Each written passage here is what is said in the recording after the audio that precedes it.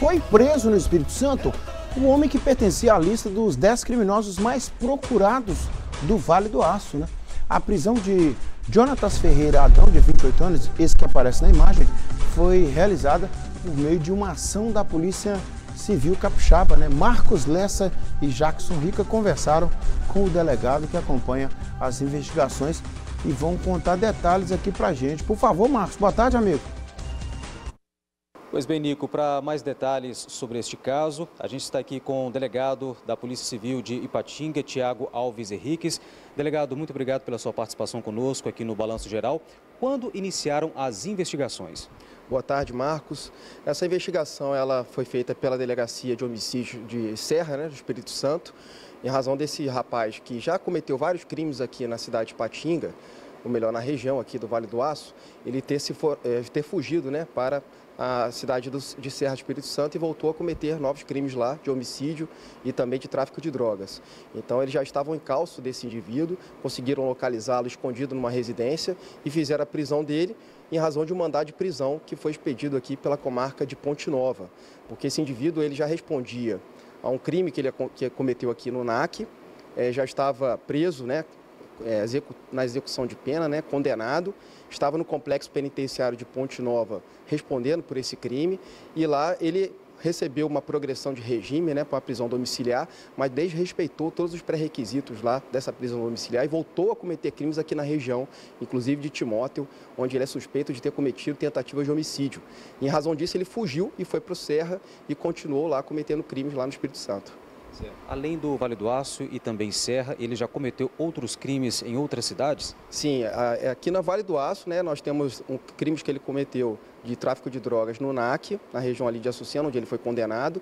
Nós temos também um homicídio que ele está sendo processado é, acontecido lá no Jaguaraçu, aqui perto de Timóteo, outros crimes de Timóteo, como roubo também, tráfico de drogas lá e suspeitas de tentativa de homicídio. Então são vários crimes aqui na região, crimes graves, né, como tráfico, homicídio, roubo, em que ele já está sendo processado, foi condenado e agora se, encontra, se encontrava foragido foi preso agora no Serra.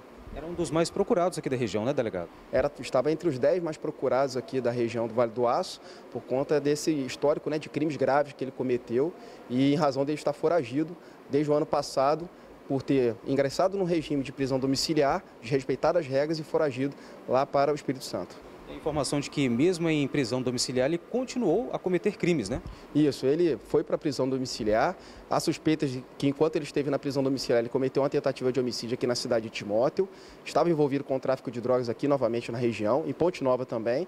E depois ele fugiu para o Serra, né, para a cidade da Serra, Espírito Santo, onde ele lá também voltou a cometer crimes de homicídio e tráfico de drogas também. Por isso que ele foi preso lá pela delegacia responsável lá de homicídio da, da, da, eh, da cidade de Serra. Outras pessoas é, que talvez estariam com eles, né, envolvidos nesses crimes, também foram presas, estão aí na mira da polícia? Não, é, a informação que a gente tem é que lá no Espírito Santo somente ele foi preso, e, também não foi encontrado nada com ele, não foi apreendido nenhuma, nenhum objeto de crime né, com ele, mas que ele foi preso somente é, sem reagir, né, sem, sem qualquer tipo de inter, intervenção ali por parte dele. Ele será transferido para o Vale do Aço? Então, ele, a gente não tem conhecimento né, se o sistema prisional vai fazer a transferência dele para aqui, para a região, mas o fato é que ele é, tem um mandado de prisão que foi expedido pelo juiz da comarca de Ponte Nova, ainda tem um processo que ele vai ser julgado no ano que vem é, em Timóteo, em razão de homicídio que ele cometeu lá em Jaguaraçu. Então, assim, são vários crimes aqui na região, então ele pode ser talvez ouvido por videoconferência, né, nessas audiências, ou ser recambiado aqui para a cidade, para a região aqui do Vale do Aço. Delegado, muito obrigado pelas informações. Com imagens de Jackson Rica, Marcos Lessa para o Balanço Geral. Obrigado, Marcos. É, há pouco a gente contava aqui de alguém que cometeu o crime no estado do Espírito Santo foi preso em Manhuaçu, né? Agora foi o contrário. Crime no estado de Minas e preso no Espírito Santo. A integração das polícias, né?